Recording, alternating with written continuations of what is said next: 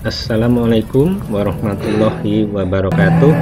Ketemu lagi ya guys. Masih di pantai panjang ini. Guys Dibalik keindahan dari pantai panjang yang ada ini Ya.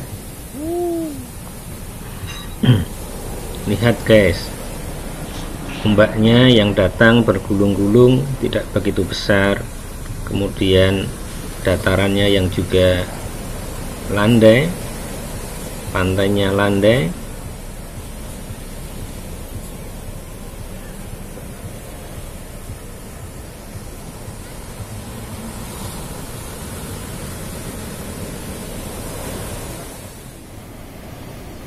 Tapi guys coba tengok ini di balik keindahan pantainya dengan pasir hitamnya dan ombaknya yang tidak begitu besar ini kita melihat ini banyak banyak sampah ini. Bekas buah kelapa ya yang dibiarkan begitu saja tidak ada yang mengelola untuk membersihkannya. Padahal kalau kita lihat di sini pedagang-pedagang sudah banyak yang berdagang di situ Mestinya bisa saja para pedagang ini diminta untuk menjaga kebersihan. Yuk kita jalan-jalan di sisi lain pantai ini ya guys. Juga ini guys, sampah selanjutnya kalau kita lihat yang putih-putih ini ya. Ini ini pempes ya. Banyak sekali pempes di sini. Aduh sayang sekali ini. Siapa yang buang ini? Ini pempes. Ya. Pempes yang bekas dipakai dibuang begitu saja oleh mungkin oleh para pengunjung atau kita tidak tahu bagaimana dia nyampe di sini. Kok ternyata banyak sekali pempes di sini. Dan ini membuat uh, kita tidak enak ya. Para pengunjung itu tidak enak hati dan juga mungkin juga masalah kesehatan di sini.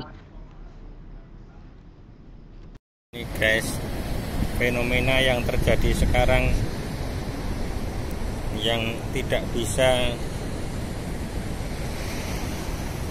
dan diabaikan itu banyaknya pempes di pantai-pantai. Ini saja di Bengkulu ya. Bengkulu aja seperti ini.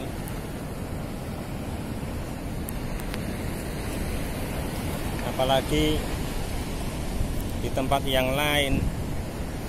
Ini memang harus ada kepedulian dari kedua belah pihak ya. Pertama dari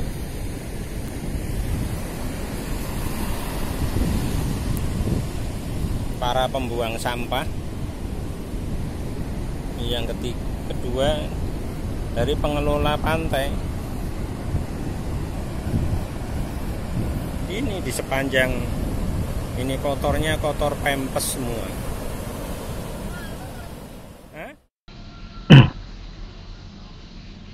Namun guys ini dari kejauhan.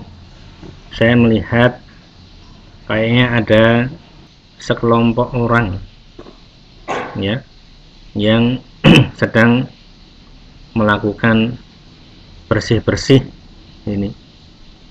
Kayaknya mereka relawan ya guys ini saya lihat mereka berseragam ya. Anak-anak muda ini kayaknya mahasiswa ini. Alhamdulillah ya. Qadarullah Allah menggerakkan hati mereka untuk berbuat kebaikan dan beramal soleh. Mas dari mana ini mas? Oh iya. Barokallah ya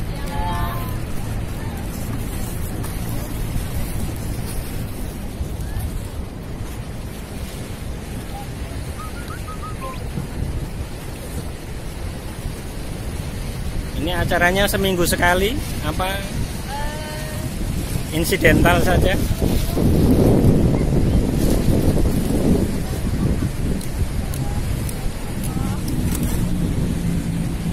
Banyak sekali nih ada sekitar 20-30 orang nih. Membersihkan sampah di pantai ya yang tadi kita rasakan sangat mengganggu bagi pengunjung pantai. Ini ternyata dari masyarakat dari mahasiswa ini Imatelki ya. Bengkulu yang membersihkan sampah-sampahnya sampah-sampah di pantai ini. Masya Allah. Semoga menjadi pahala buat mereka ya.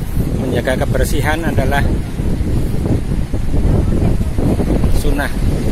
Ya sunnah yang perlu dipelihara.